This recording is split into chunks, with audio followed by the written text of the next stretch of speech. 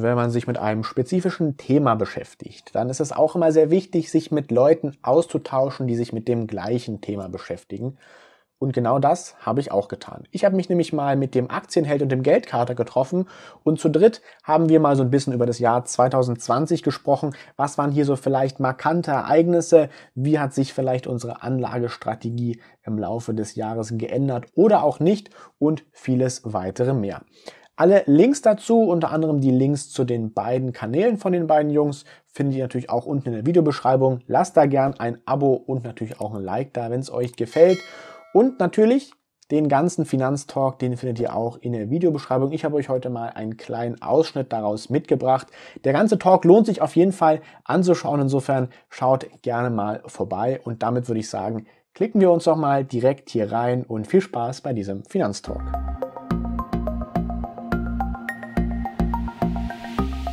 Ja, auch, auch gerade wenn man die ganzen äh, IPOs sich mal anschaut, wie die alle eskaliert sind dieses Jahr, ne? Jetzt zum ja. Beispiel zuletzt ähm, zum Beispiel Airbnb oder auch die ganzen vorherigen. Da war ja eins äh, größerer Höhenflug wie das, wie, der, wie das andere und äh, da war ja nichts mehr mit rationaler Beurteilung am, am Start, sage ich mal. Jetzt einfach nur das Beispiel Airbnb, die waren ja dann äh, von der Marktkapitalis Marktkapitalisierung höher als äh, die komplette Konkurrenz zusammen ja. na, nach dem IPO. Deswegen, das war halt wirklich, äh, das hatte alles nichts mehr mit rationaler Beurteilung und nichts mehr mit, äh, ich sag mal, objektiver Be äh, Betrachtung zu tun. Das war einfach nur noch pure Emotionen, hatte ich teilweise das Gefühl, das Jahr, ja. Ja. Absolut. Waren die nicht auch teilweise höher bewertet als Booking? Ja. Meine ja. Booking ist ja der absolute Marktführer. Marktführer ja. Da mhm. ja kein Weg an Booking vorbei eigentlich. Ja. Also, ja, wie gesagt, also keine Ahnung. Ich, ich glaube nicht, dass Value tot ist, in dem Sinne, nee. dass ähm, es ja für jetzt auf alle Zeit niemals wieder mehr die Value-Aktien den Markt outperformen. Das glaube ich eigentlich nicht.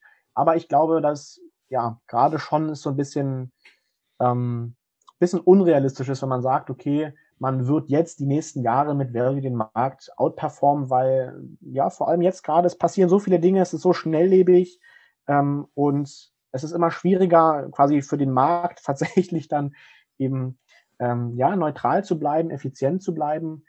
Weil, wie gesagt, dann haben wir diese ganzen Robinhood-Trader, die nach oben pushen, die institutionellen Investoren müssen ihre Gelder aber auch irgendwie investieren und zusammenhalten. Ähm, und dann kann eben so eine, so eine große Masse halt auch so eine, so eine, so eine Kursbewegung eben auch mal auslösen. Ja. Ähm, sagt euch der Begriff Window Dressing etwas? Habt, ich habe Anfang oder Ende letzter Woche davon gehört, dass sich dann halt die, die meisten Fonds die Gewinner des Jahres einfach mal ins Depot holen, um sich damit zu schmücken, was wir, um mhm. ja noch eine gute Performance am Ende des Jahres halt äh, zu machen oder ja, jedenfalls einfach zu zeigen, okay, wir, wir sind investiert und ja, wollen dann halt entsprechend noch ein paar Anlo Anleger locken. Du redest jetzt von aktiven Fonds, oder? Ja, ich, ja, genau. Ich ja, denke genau. mal, das aber, ist äh, extrem bezogen auf aktive Fonds. Ja, aber die haben sowieso ganz andere Probleme, weil die ja sowieso immer, sag mal, ein bisschen antizyklisch handeln müssen, mhm. aufgrund von ihren Anlegern, weil wenn es runtergeht, müssen die das Zeug im Prinzip, äh, ich sag mal, dann günstiger verkaufen, was im Depot liegt, was eigentlich solltest du theoretisch ja genau das Gegenteil machen, wenn du jetzt den, den Ansatz hast. Du solltest dann gucken, dass du, wenn du von der Position überzeugt bist, dass du dann, ich sag mal, wenn es runterknallt, günstig nachkaufst. Und ja. genau das Gegenteil machen die ja eigentlich immer. Genau das, was du gerade sagst. Äh, die kaufen dann die, die, die sehr gut gelaufen sind das Jahr über sich ins Depot, um zu sagen, hey, guck, wir sind da dabei. Das wollen natürlich dann die Anleger des, des aktiven Fonds dann auch, die sagen, hey, warum sind wir da nicht dabei? Die sind noch super gelaufen. Ja, klar, die holen wir uns jetzt rein. Und das ist eigentlich genau eins der großen Probleme von aktiven Fonds. Gut, dann kommen wir zum nächsten großen Ereignis in diesem Jahr. Da springen wir schon ein paar Monate weiter und dann kommen wir zu US-Wahl. Ähm, die Märkte davor waren bei mir relativ volatil aber ähm, total überraschend, nach, nachdem dann die US-Wahl durch war und es so sich herauskristallisiert hat, wer tatsächlich präsent wird demnächst, also dass, dass Richtung immer mehr Richtung Biden geht, ging, ähm, ja, kam anscheinend mehr Sicherheit auch in den Märkten und so, ja, wurden die, die Märkte nochmal ordentlich mit Geld ähm, eingedeckt und ich habe es einfach in meinen ETF, ich, ich saß da jeden Tag und dachte mir, was passiert denn jetzt, ey? Wie kann mhm. das sein?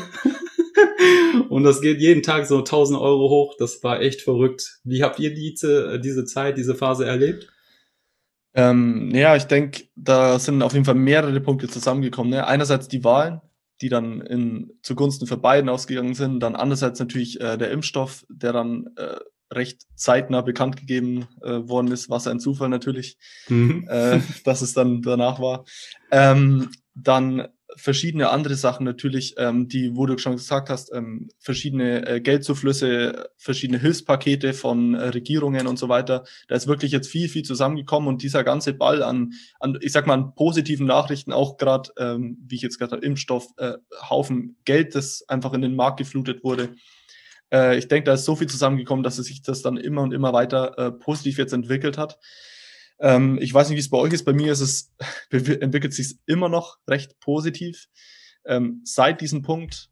Ähm, ich habe tatsächlich jetzt bloß mal, um von meinem Depot ein bisschen was zu erzählen. Fast an diesem Zeitpunkt ist mein äh, erstes Mal, es ist meine Sparplanoffensive ausgeführt worden am 2.11. Ähm, ja, ist zufällig mit dem Punkt zusammengekommen. Da habe ich jetzt 15 neue Sparpläne laufen. Ansonsten, ja, Philipp? Zufall, ja. Hast du dich da nicht irgendwie abgesprochen, irgendwelche Insider? Ja, ich habe mich natürlich äh, Insiderwissen. ja, also wie du halt schon meintest, ne, das war halt echt eine ziemliche Euphorie, wobei davor ging es richtig runter. Also da ja, ging es ja nochmal richtig runter. Da war sehr viel Unsicherheit eben, denke ich mal auch. Vor allem, ja, wir wissen es ja, der orangene Kollege im Weißen Haus, ähm, ja, denke ich mal, äh, ne? Wissen wir ja alle. Und ähm, ja, seitdem ging es halt echt nach oben. Und ganz, ganz lustig an der Stelle ist tatsächlich, dass zum Beispiel, ich habe ja, wie gesagt, auch zwei Einzelaktien im Depot, eine davon im Immobilienbereich. Und die hat genau ab diesem Zeitpunkt, ja, also natürlich vor allem beflügelt durch den, durch den Impfstoff und jetzt weniger durch irgendwie das, ja, ähm, Joe Biden da jetzt dann eventuell vielleicht dann neuer Präsident werden wird, ist die abgegangen wie irgendwas. Also das war ja im, im November und da ist die, ist die deutsche Euroshop über 60 Prozent nach oben geschossen im Monat. Das ist Hui. unglaublich gewesen. Mhm. Okay. Da ärgert man sich natürlich im Nachhinein, ah, hätte man mal ein bisschen nachkaufen sollen, ne? Aber mhm. keine Ahnung, ich denke, es war eine gute Entscheidung, es nicht zu machen. Aber das war eben so schon so eine, so eine Auswirkung, was man eben gesehen hat. Ja, jetzt weniger vielleicht die Wahl und der Impfstoff, das kam halt alles zusammen. Denke ich mal, dieses Jahr war ja wirklich, da kam alle, wenn irgendwas war, dann waren es immer mehrere Dinge, die irgendwie ineinander gegriffen haben. Ja. Und es ist da so schwer zu sagen, okay, hier war es, kann man irgendwie rational begründen oder irgendwie wissenschaftlich jetzt im Nachhinein sagen, okay, da, daran, daran hat es halt irgendwie gelegen, ja. Woran hat es gelegen? Ähm, und ja, also die, die, die Euphorie hält halt, wie gesagt, immer noch, immer noch an.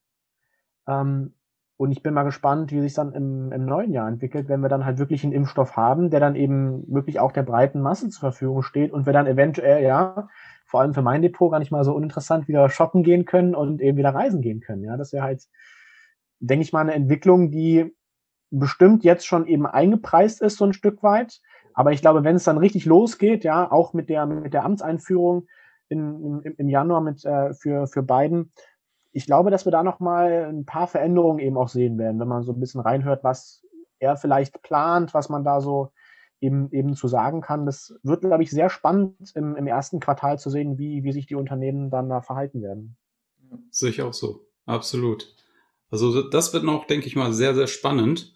Ich habe jetzt auch, ähm, ja, habe ich euch jetzt vorhin erzählt und ich habe da ein Video zu gemacht. Ich habe einfach mal ein paar Gewinne mitgenommen, beziehungsweise auch um einfach mal Spar Sparerfreibetrag auszunutzen. Aber ähm, Anfang des Jahres möchte ich das auch sofort wieder investiert haben. Und dann schauen wir einfach mal, wie sich der Markt am Anfang des Jahres dann entwickeln wird, wenn tatsächlich Biden endlich mal ins Handeln kommen kann und dann, ähm, ja, ja dann erzählt, was er so vorhat. Dauern, ne? Ja, richtig. Aber was, was er zumindest dann halt verkünden kann, offiziell. Und dann unsere ähm, Orange dann aus dem Weißen Haus raus ist. Bis dahin ging es ganz gut und lief entsprechend gut auch bei mir bis Ende Februar, sage ich mal.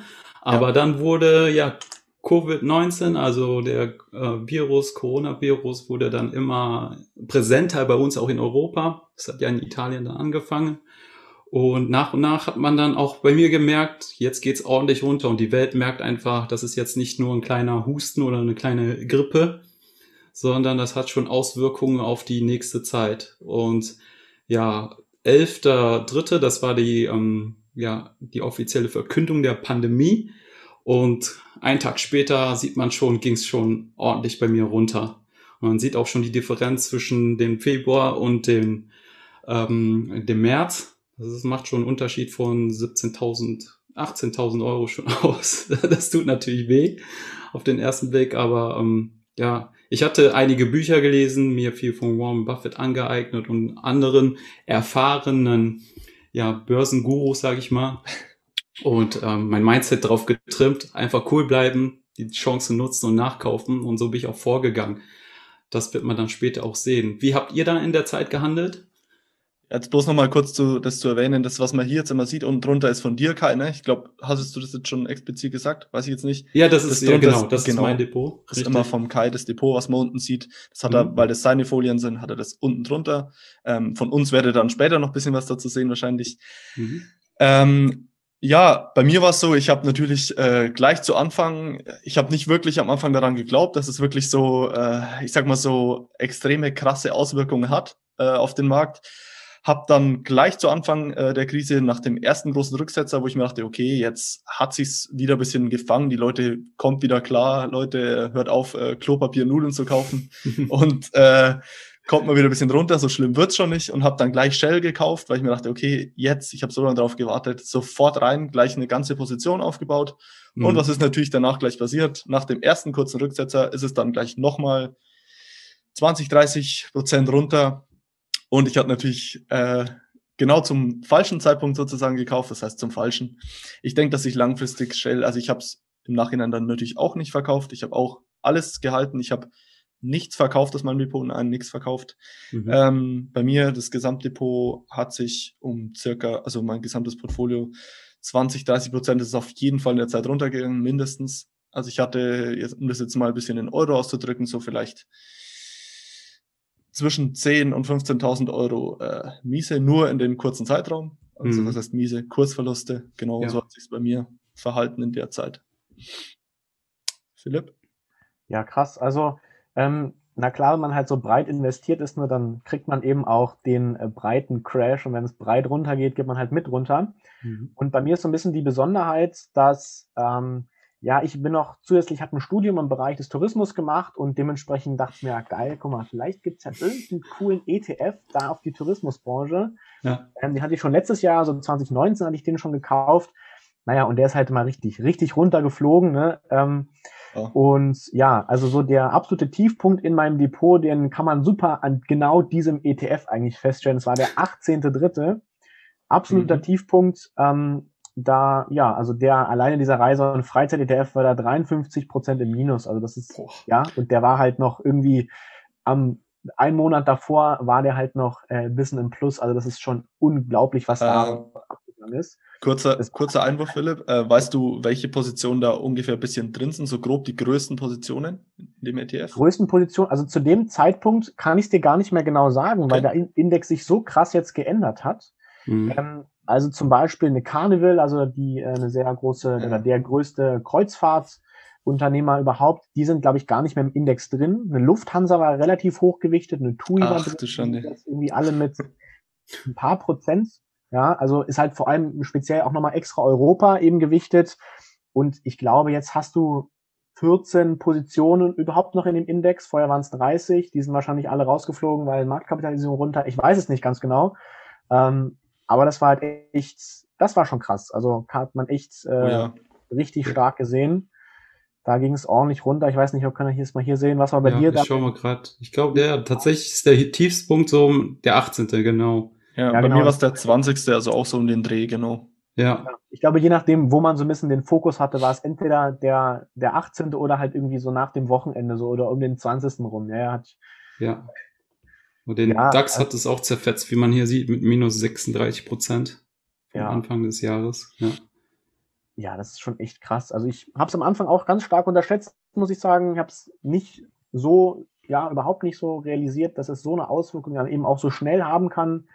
Ähm, und genau, also eigentlich abgesehen dann vom, vom Reise- und Freizeit-ETF ist ja so von den ETFs zumindest alles wieder hat sich dann eigentlich ganz ordentlich entwickelt so.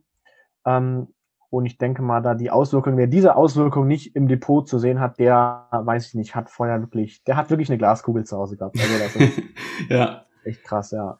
Aber ich glaube, in diesem Fall waren auch alle Assetklassen betroffen, soweit ich das so mitbekommen ja. habe. Selbst ähm, ja die sichere Anlageklasse bei Crashes mit Gold ging runter, Bitcoin ging runter, Immobilien, also REITs, da war alles dabei. Den Finanztalk in seiner gesamten Länge findet ihr unten in der Videobeschreibung verlinkt. Schaut da gerne mal rein. Es hat echt sehr viel Spaß gemacht und war super interessant, mal mit den beiden über das ganze Jahr 2020 investieren und die Börse zu sprechen. Ich habe es wie euch, wie gesagt, verlinkt. Checkt auf jeden Fall auch mal die beiden Kanäle aus und lasst auf jeden Fall auch ein Abo und ein Like da. Da freuen wir uns alle sehr drüber. Ansonsten soll es das an der Stelle mit diesem Video gewesen sein. Lasst auch hier gerne ein Like und ein Abo da und dann freue ich mich, wenn wir uns auch beim nächsten Video wiedersehen. Bis dann.